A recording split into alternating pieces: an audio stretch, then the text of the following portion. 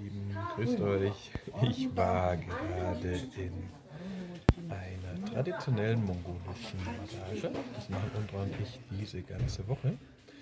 Ähm, ja, was ist die traditionelle mongolische Massage? Ich weiß es nicht genau, ich lasse es über mich ergehen.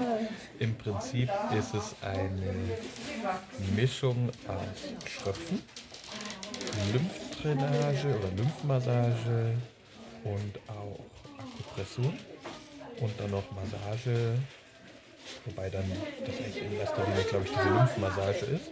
Sehr effektiv, das macht man eine Stunde am Tag und danach ist man ganz schön geschafft, ganz schön müde. Also das ist sehr effektiv. Darf mich auch eine Woche lang jetzt nicht duschen, deswegen schauen meine Haare so aus, wie sie ausschauen. Aber ähm, sehr effektiv und gut.